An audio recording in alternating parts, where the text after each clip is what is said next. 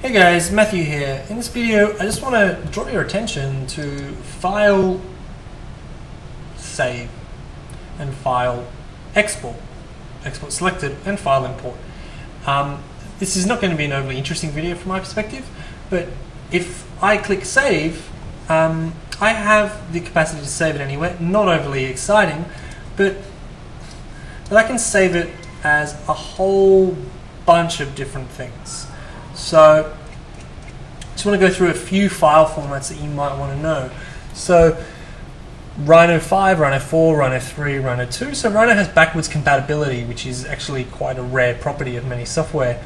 Uh, .3ds, um, fairly sure that's 3D Studio Max. I might be wrong because I'm fairly sure that Max is .max. .sat is a like a kind of way to get it to begin to talk to a software called Revit.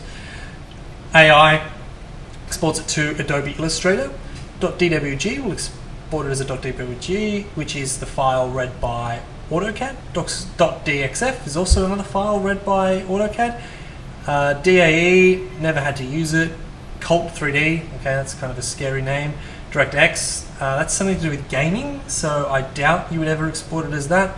EMF, nah, nah, nah. Google Earth, okay, good luck.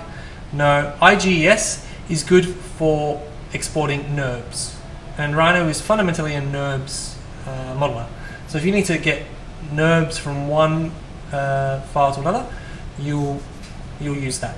So we'll get into what a NURB is in the second module, but for now you may just need to remember .iges. Lightwave, uh, no idea. Moray, no idea. Motion Builder is something to do with animation, and it's an Autodesk product that begins to plug into like 3ds Max and Autodesk Maya. .obj is fundamentally the most basic and most widely used mesh exporter, and we'll get into what a mesh is in detail in the second module as well. Uh, .csv will export object properties as a as a comma separated value file, which is an Excel sheet. Why you would want to do that, no idea. Uh, Parasolid, I've never heard of. PDF is more like a printing kind of thing. Not sure why you would actually want to save a file as a PDF from here. .ply you'll never use. .txt it's very rare to use that unless you're beginning to getting in, you're beginning to get into coding. Uh, point of view ray, no idea what that is. Raw triangles as a .raw file, no idea. RenderMan is the renderer run by um, uh, Pixar. So Pixar has their own rendering engine. It's called RenderMan, so you can export into that.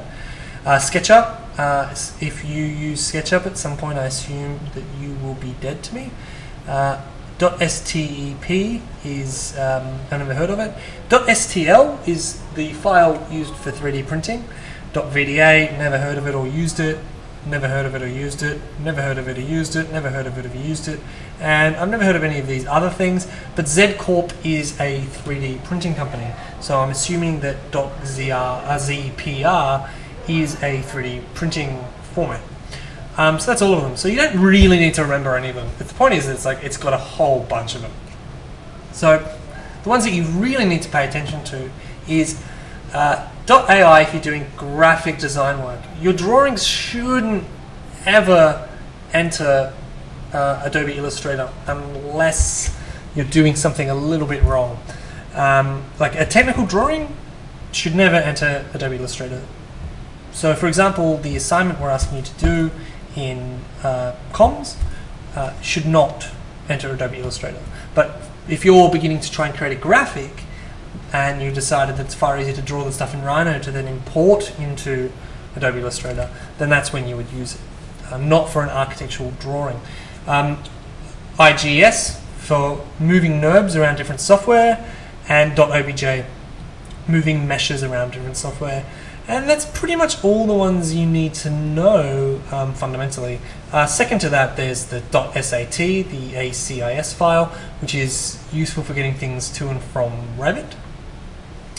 And uh, that's about it. And STL, sorry, which is for 3D printing, which we're not going to get into here. But they're all the files you need to know. Cool. All right. See you in the next video.